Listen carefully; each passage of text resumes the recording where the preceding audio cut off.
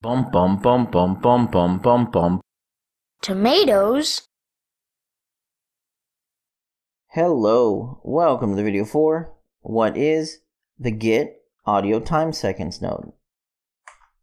We'll go ahead and run our quick little example. So for get audio time, for example here, we have a physics object bouncing, and then we have a timeline object timelining, and we can pause and adjust time dilation. Up here we have our tick delta, how much each frame, and then our audio time seconds value. And if you notice, it's progressing up.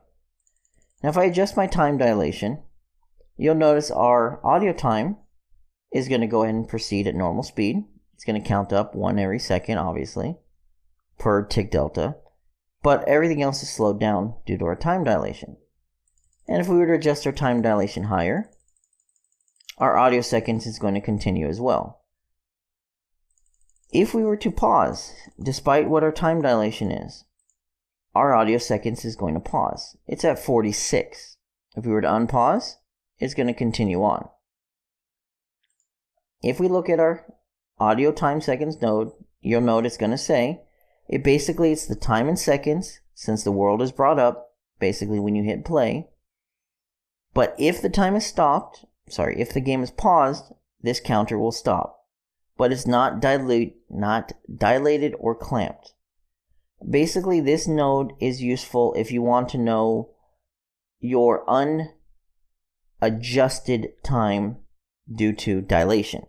Dilation, of course, is when you slow down or speed up the game, globally in this case.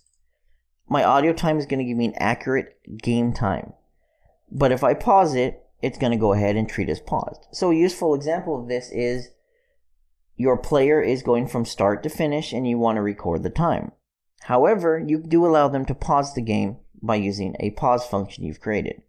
So this will give you accurate play time in terms of what you're playing uh, for a, a distance or a checking purpose, but it will not be adjusted by faster or slower. So you could have a power up that allows the player to pause the time around them, the enemies, or allows them to run faster.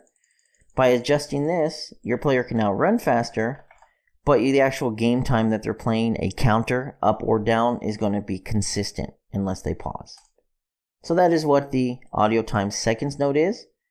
It will give you back the amount of time that the game has been running. It will allow you to pause it, which will pause the audio time, but time dilation will not affect this node.